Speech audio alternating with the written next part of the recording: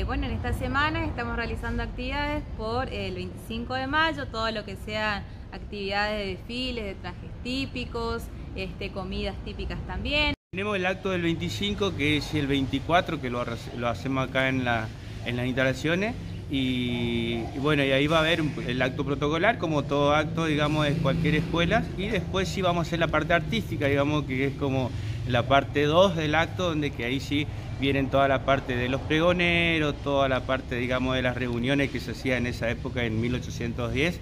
y con el rey signero y todas esas cosas, así que también una linda propuesta dentro de todo, digamos, eh, el equipo que funciona acá en el 745. Trabaja eh, lo hace con amor, entonces todas las cosas lo disfruta. Eh, más allá de que por ahí nosotros somos los artistas callejeros o artistas amateur que nos gusta, pero bueno, eh, le tratamos de hacer disfrutar a los chicos que para nosotros es lo más importante, que sean los chicos sean los,